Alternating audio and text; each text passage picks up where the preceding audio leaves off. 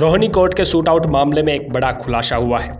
Delhi police के सूत्रों की माने तो इस पूरे शूट आउट की साजिश तिहाड़ जेल के में बंद गैंगस्टर सुनील उर्फ़ टिल्लू ताजपुरिया ने जेल से बैठकर ही रची थी। पुलिस के सूत्रों की माने तो गैंगस्टर टिल्लू शूट आउट के पहले और शूट आउट के बाद लगातार सभी बदमाशों के संपर्क में था। सूत्रों की माने तो वो इंटरनेट कॉलिंग के ज़रिए हमलावरों के संपर्क में था।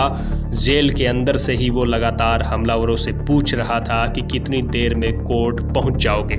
इतना ही नहीं, वो उनकी लाइव लोकेशन भी ले रहा था। गिरफ़्तार हुए उमंग और विनय से भी इंटरनेट कॉलिंग के ज़रिए संपर्क में था।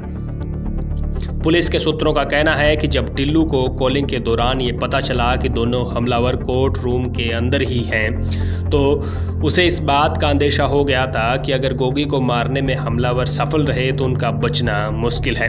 इसी वजह से उसने उमंग और विनय को इंटरनेट कॉलिंग के ज़रिए संपर्क कर ये पूछा कि तुम कहाँ हो?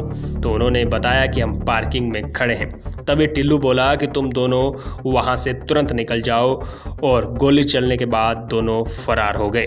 जाँच के दौरान पुलिस को एक फ़ोटो भी मिली जिसमें टिल्लू वीडियो कॉल पर उस शूटर के साथ बात कर रहा है, जो इस शूट आउट में पुलिस की गोली से मारा गया। इस पूरे शूट आउट के बाद एक बात तो साफ़ है कि सुरक्षा में एक बड़ी चूक हुई है। एक गैंगस्टर आसानी से तिहाड़ में बैठकर पूरा शूट आउट न सिर्फ़ प्लान करता है, बल्कि उसे अंजाम भी दे देता है।